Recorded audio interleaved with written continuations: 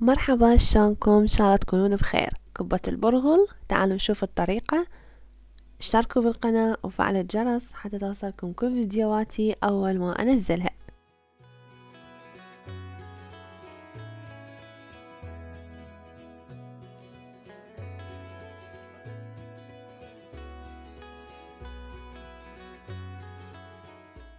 أول شي راح أبدي أضيف ثلاث أكواب من البرغل الناعم. طبعا هذا البرغل نفس البرغل اللي نستخدمه بالتبولة. تقدرون تستخدمون برغل أبيض أو برغل أحمر ماكو أي فرق. راح أخلي وياهم كوب واحد من السميد. السميد إذا تريدون ناعم أو خشن همينة ما راح يفرق. أخلطهم كلهم سوا للبرغل والسميد. خلطة هيجي سريعة وبعدها راح أضيف لهم مي مغلي. المي راح أضيف لهم كوبين ونص من المي المغلي. أخلطهم همين كلهم سوا وبعدها أغطيها وأتركهم تقريبا من نص ساعة إلى ساعة.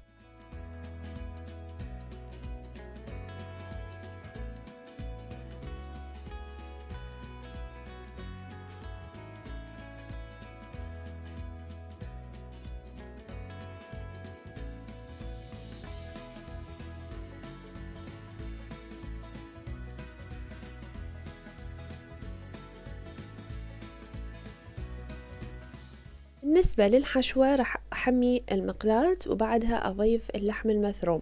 اللحم راح أستخدمه هو مخبوط ما بين غنم وبقر ماكو داعي تخلون أي زيت أو مي. حمسوه حمسة سريعة إلى أن ينزل كل الدهن وينشف المي مالته تقريبا. قبل ما ينشف كامل راح أضيف البصل. البصل راح أضيف اثنين بصل مقطعة ناعم. وبعدها راح أقلبهم سوا إلى حد ما يذبل البصل. إذا شفتوا ماكو مي كلش باللحم أو ماكو زيت تقدرون تضيفون شوية.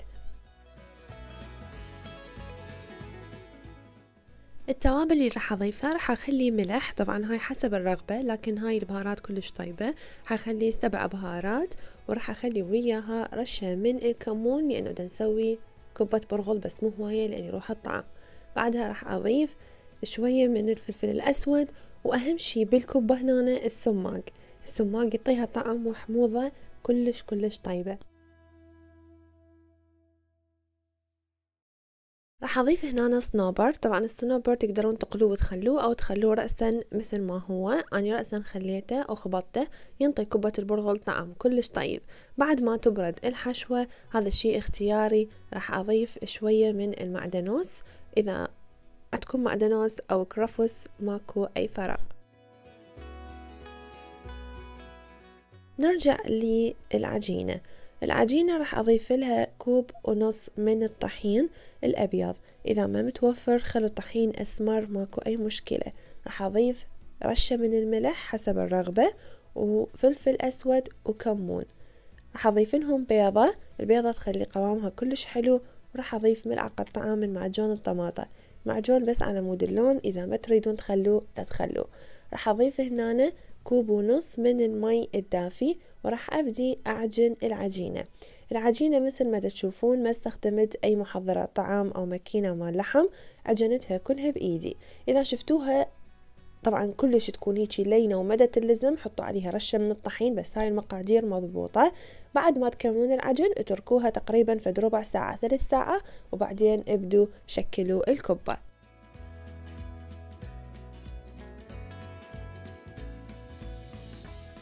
أبدي أشكل الكبة. طبعا الكبة راح اسويها من هاي الكبة الطولانية مثل الكبة الطرابلسية خلينا نقول أو كبة الحلب.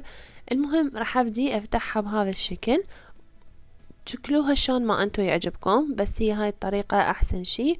راح أخلي بيها الحشوة. طبعا لازم تكون الحشوة باردة والعجينة همين تكون فد مرتاحة في ثلاث ساعة مثل ما قلت لكم. على مود تحصلون على النتيجة المطلوبة.